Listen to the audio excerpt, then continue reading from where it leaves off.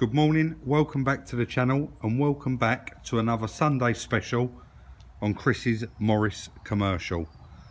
Today he is going to be stripping off, sorry I'm just getting a close up of that because a couple of people did ask me to. Today Chris is going to be removing all of the tin work, so the wheel arches, running boards, rear wheel arches. Let's have a little walk around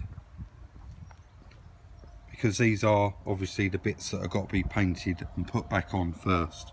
So this rear wheel arch this running board and then we've got the front wheel arch here. And I suppose you'd call it a front panel. So I'm going to put him on time lapse he's going to get on and get some of that removed. And then after that I suppose we'll be moving on to stripping a few bits off of the engine. Let's get on with it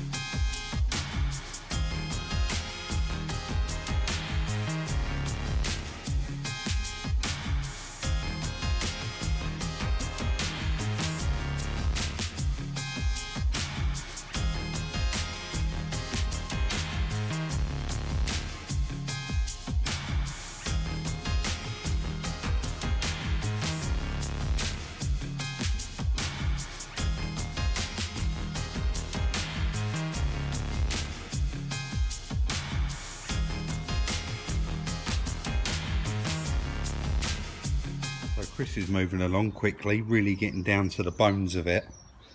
There's a couple of bits off the front. Both front wheel arches now removed. And as you can see, it is really starting to look like a skeleton. So next step is, is going to remove those running boards and then move on to the rear arches. And then once we've done that, because it's, it's really not that time consuming, he seems to be knocking it out pretty quick. As soon as that's done, he is going to start concentrating on the engine. So he's going to remove the carburetor and actually make a blanking plate and bolt it back in place. And the manifold he's going to remove and obviously blank those off as well because he does want to completely get this paint stripped. And then that uh, manifold we're going to be putting in the sandblaster giving that a light blast just to clear off any surface rust on the top of it.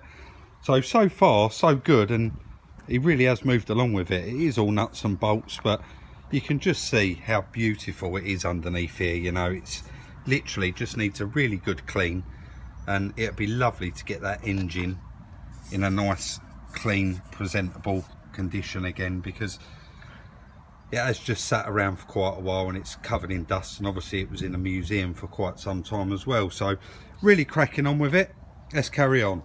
Chris really has been cracking on there you can see he's quickly made up that plate. He's took the manifold off and put that on there so that nothing can get inside there. Obviously he's going to be putting all that paint stripper on. But you can see now it is down to the bare bones. I'm just going to walk around the other side get a better view. And I've been over there all day cutting that quarter off. He's literally disconnected everything. He doesn't want anything around it while it's having the paint stripper put all over it. And he's made that little plate up there as well. So I think he's only got those couple of hoses left to disconnect. And uh, he'll be start thinking about getting ready to put that paint stripper on there.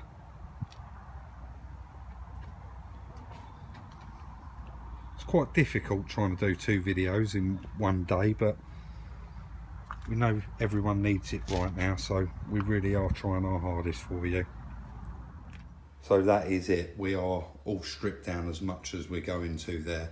I did ask Chris about removing these pipes and he said that this one was all perished and shot and he is going to be replacing it anyway and he don't want to take it off at the moment because he doesn't want anything getting inside the engine and the same with the top one so he has just been round and bagged up everything just to stop that paint stripper from getting in there and he just put an idea out there really and I thought do you know what? We give it a go. If it comes out all right we're going to add it to the straight off to this section. But if we don't then it didn't come out too well. But Chris said it would be quite smart to set the camera up exactly here get a bit of light on that engine put all the paint stripper over it and actually time lapse it bubbling up because it'll be really really quick for you and it'll be quite satisfying to watch. So we are going to give that a go and fingers crossed it does come out okay.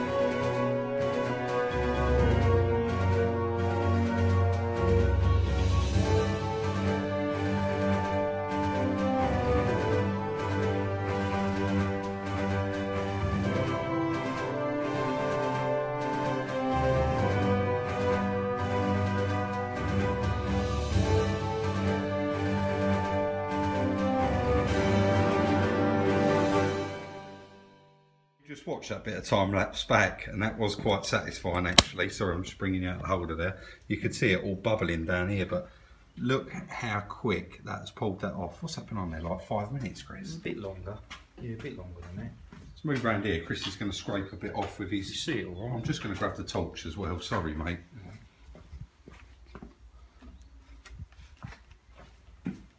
Just like that bit there. Yeah. I'll try and catch it.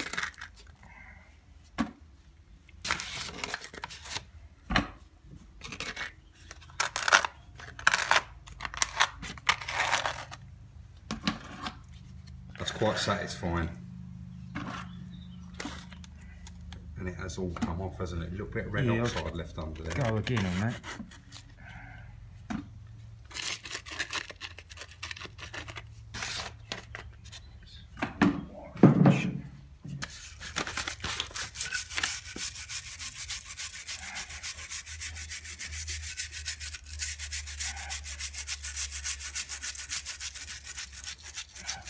I can't wait to see it all stripped off now and repainted.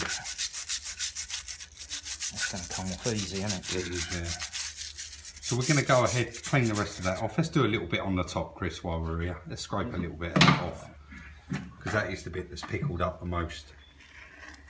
Wow.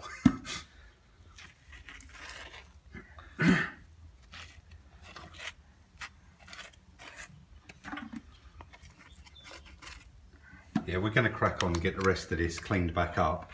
And then I'll cut back in and show you it once all that is removed. And then Chris is probably going to go again with it.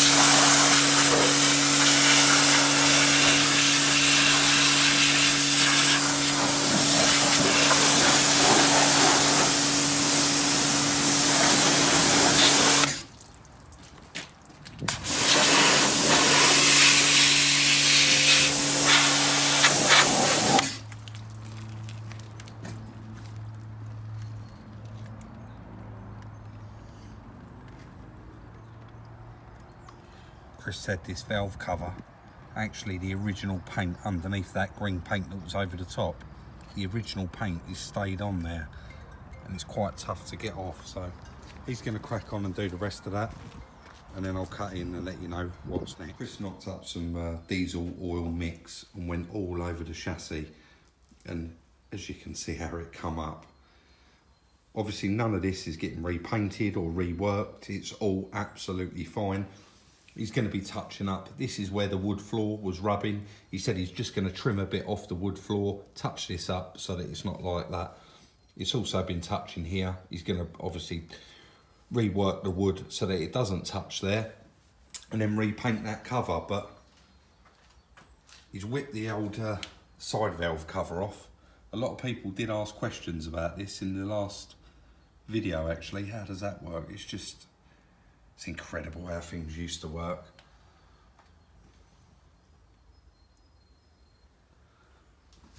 Let's move around to the other side.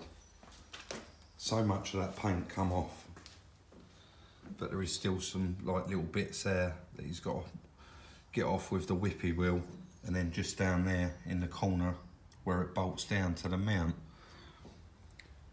But he's done a cracking job on it and it really hasn't taken him that long. I mean, he was on it all day today and all day yesterday, but he did mention about the wiring as well and these fittings, the old brass fittings, a couple of them had been replaced and they wasn't the proper ones. So he has ordered the proper ones and he's also going to make a new wiring loom for it.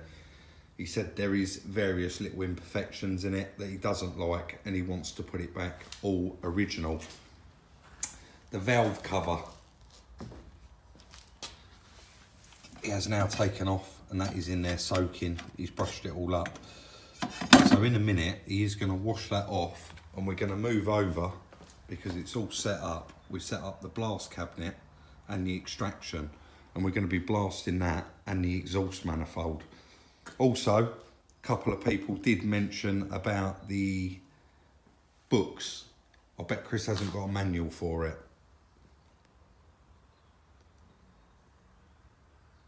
And he has got them all. And he said this one here has actually got the wiring diagram in it. So he's ordered all the correct wires in all the correct colours and he's actually going to build a new loom from scratch. So yeah, he really has moved along with it. Let's move over to the blasting cabinet and get these bits cleaned up. We are good to go and this is a bit of a warning. Obviously we are, we are going to have to run the extraction otherwise we're not going to be able to see through the window. So it is going to be quite noisy. So for you headphone um, listeners, turn your volume down now. Are we good to go, Chris? Yeah. We've got a little plate in now. Yeah, go on, mate. Do you want to light? it? If it's got an edge there, Yeah, we're be trying to- like it there.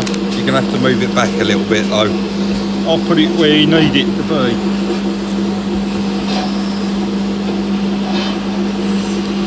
That's it, mate. Yeah, lovely. See that all right? Yeah, Yep.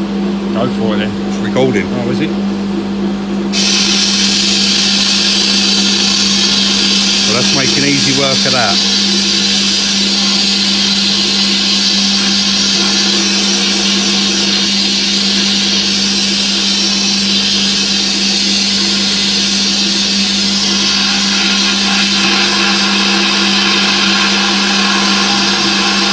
Some of you will probably ask, why didn't we use this on the uh, on the whole engine? But obviously, it would make a real mess.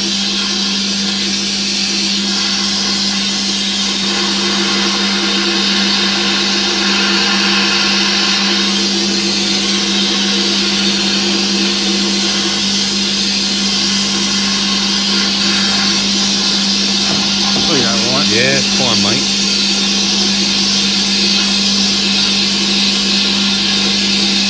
Coming up nice, isn't it? Yeah.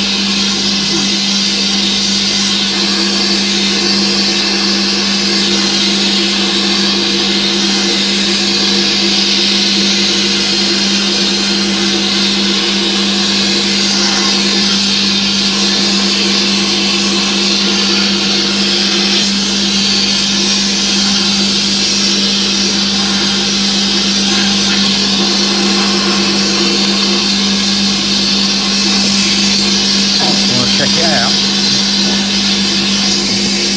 We're going to pause there, guys, clean this bit of glass and cut straight back in. Let's get it out and just show you really half and half. Chris just said it is going to want going over again, but really does make easy work of it and it feels nice and smooth now. So that's back to original.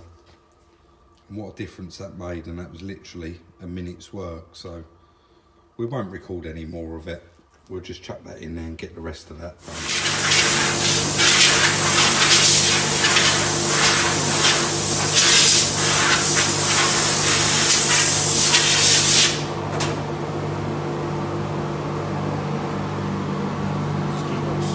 Turn that suction off, you Yeah,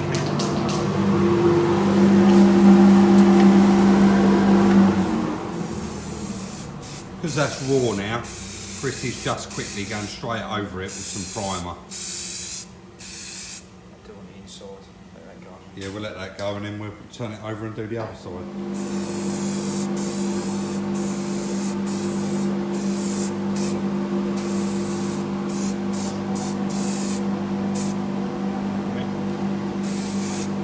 Let that dry and that's another one ready to paint.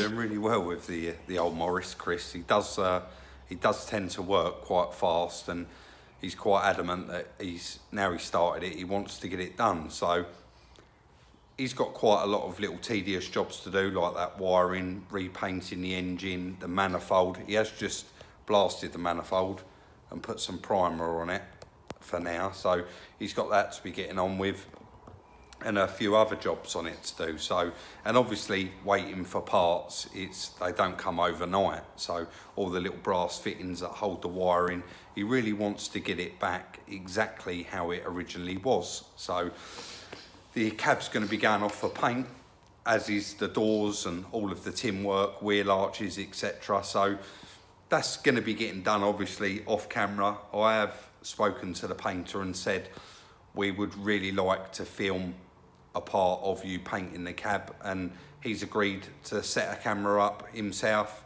and film a bit of that and send it over to me so we'll be adding that to the video there's possibly not going to be another video on it next sunday because it's we're still going to be waiting for parts and there's going to be bits and pieces that we can't show. So yeah, there probably won't be one next Sunday, but there will be one the Sunday after. So anyway, enough waffling on. That is going to be the end of today's video. Thank you all very much for watching. If you do enjoy it, please let us know by leaving a comment in the comment section. Give us a thumbs up. We really do appreciate it and it shows your appreciation. Check out the merch store. The link is in the description. Like, subscribe and share and we'll see you all very soon in the next one.